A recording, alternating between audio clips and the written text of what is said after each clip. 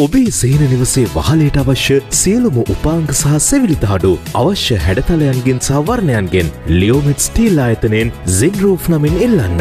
අපි මේ කතා කරන්නේ ආපනය දිස්ත්‍රික්කේ කන්කසන්තුරේ ආසනය නිල චන්ද ප්‍රතිඵලය.